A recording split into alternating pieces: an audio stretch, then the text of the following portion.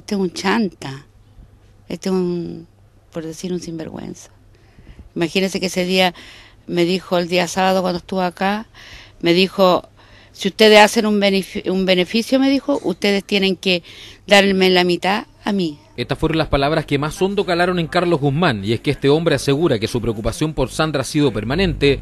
Dice que gran parte de los dineros recaudados en beneficio de su mujer fueron a parar al pago de deudas que arrastraban por la propia enfermedad de su expareja. Nunca la habría dejado sola, aclara. Yo tengo todos mis papeles, tengo las cosas yo en Valparaíso, donde pregunten las cosas. Yo andaba con Sandra para arriba y para abajo. En cambio, hay gente que, toda la gente del mismo pueblo Lo Arca, que todos lo saben, ellos están de acuerdo que eso todo lo hacía yo, durante dos años que estaba mi señora enferma. Con papeles en mano, Guzmán dice que Sandra fue llevada a todos los controles médicos pertinentes en los últimos años, presentando documentos que están fechados en el 2010 y hasta marzo de 2011. Incluso asegura que en el propio hospital se desarrolló un tratamiento de kinesiólogo para ayudar a la rehabilitación de esta mujer. Carlos reconoce la existencia de al menos 8 millones de pesos que están en su cuenta a raíz de su participación en un programa televisivo de Mega, dinero que según su testimonio estaría interesada a la familia de Sandra. Ese es un concurso aparte, ese es un sorteo aparte que me llegó a mí. Lo mío es de lo de cuántas de Sandra y mi familia, intermedio porque nosotros lo llevaron a televisión. Está bien. ¿Y esa plata está? Esa plata la tengo yo para comprar mi sitio y tener mi casa para mis hijas y más encima para por si acaso algún día Sandra llega a mi hogar. ¿Usted quiere que ella vuelva? Yo sé que va a llegar. Ella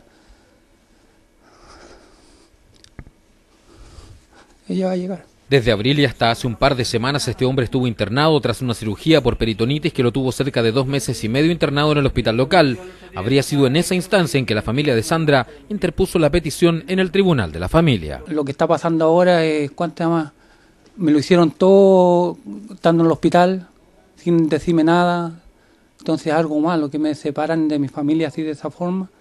Yo creo que a cualquier persona le, ¿cuánto le, se siente mal? Dos versiones que se contraponen y que dejan al descubierto el drama humano de una joven madre que hoy está postrada y que más allá de sus conflictos hoy requiere de la ayuda de la comunidad. ¿Estuvo o no Sandra bien cuidada? ¿Recibió finalmente la ayuda que generosamente le entregó la comunidad? ¿Quién tiene la razón? Finalmente nos quedamos con el problema de fondo y qué significa que a partir de ahora esta mujer reciba la real ayuda que requiere. Sobre la acusación de que Carlos había tenido una relación con la prima de Sandra, fue el mismo afectado el que se encargó de responder a través de esta reflexión. Cualquier persona estuviera en el desierto con C y se encontrara una manzana, le voy a decirle, ¿se la comen o no se la comen?